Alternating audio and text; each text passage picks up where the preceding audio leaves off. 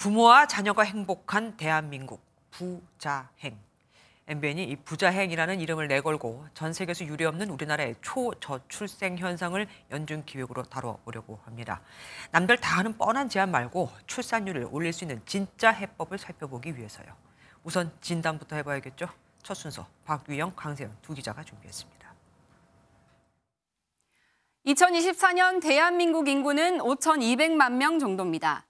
인구 피라미드가 항아리처럼 중간이 볼록한 것 보이시죠?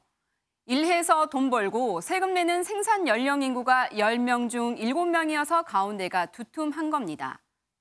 지금 태어난 아이들이 경제 활동의 주축이 되는 30년 뒤는 어떨까요? 인구수 4,500만 명, IMF 외환위기로 출산을 미뤘던 1997년과 비슷한 숫자입니다. 급감 규모는 둘째치고 그때와 비교도 안 되게 심각한 부분은 따로 있습니다. 어린이가 전체의 22%에서 7%, 고령자는 6%에서 41%로 호리병 모양이던 인구 구조가 30년 뒤엔 이렇게 뒤집힌 호리병이 될 걸로 예상된다는 점입니다. 아이가 노인보다 4배 많았던 그 시절과 달리 아이 한 명당 노인은 5.5명 비율이고 당시 생산 인구 100명이 노인 9명을 지원했지만 이때는 81명을 부양해야 합니다. 그런데 이런 장면들 사실 미래까지 갈 것 없이 전국 곳곳에서 바로 오늘 일어나는 모습입니다. 저출생 해법을 바로 지금 총동원해야 하는 이유기도 하고요. 강세현 기자가 20, 30년 뒤 우리나라 인구 구성비와 가장 비슷한 지역을 둘러봤습니다. 저는 전북 순창군의 한 마을에 나와 있습니다. 순창군은 65세 이상 주민의 비율이 35%를 넘어섰는데요. 우리나라도 20년 뒤면 이런 초고령 사회에 진입합니다. 마을회관 문을 열자 어르신들이 용기종기 모여 있습니다. 평균 나이는 75세, 가장 어린 분도 이른을 훌쩍 넘겼습니다. 젊으신 분이 많았는데 다 늙어갖고 이제 이렇게 나이가 먹었죠 많이 집에 한 양반들석 둘, 둘 양반도 계신 양반 윗사람 안 되고 대부분 다 혼자 계시고 그러죠.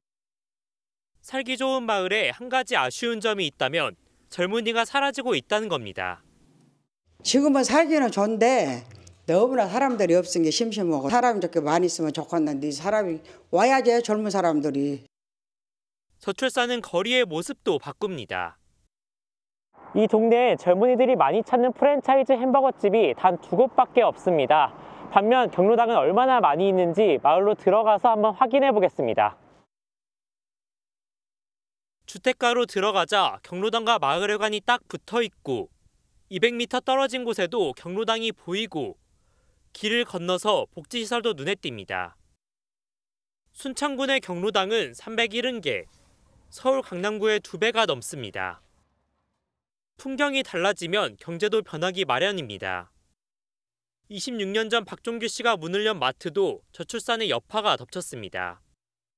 20분간 지켜보니 한 명 빼고 모두 나이 지긋한 어르신들만 마트를 찾았습니다. 어르신이 좋아하는 간식을 드리며 흐름에 맞춰갔지만 매출은 줄었습니다. 기본 생활 필수품 외에는 뭐 거의 어, 사, 어, 돈을 쓰지 않죠. 3, 40%그 매출 감소가 된 것 같아요. 근데 아직 이건 시작이라고 불과해요. 시작이라고 보면 돼. 갈수록 더 어, 이런 현상은 두드러질 것 같아요. 일손도 부족해졌습니다. 박현숙 씨는 손이 많이 가는 밤 농사를 접고 부부 둘이서 할 수 있는 염소 농장으로 사업을 바꿨습니다.